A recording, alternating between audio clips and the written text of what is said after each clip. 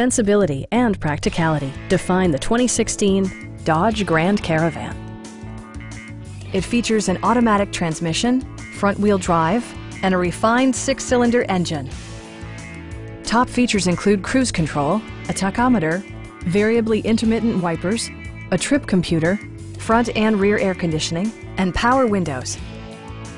Storage solutions are integrated throughout the interior, demonstrating thoughtful attention to detail.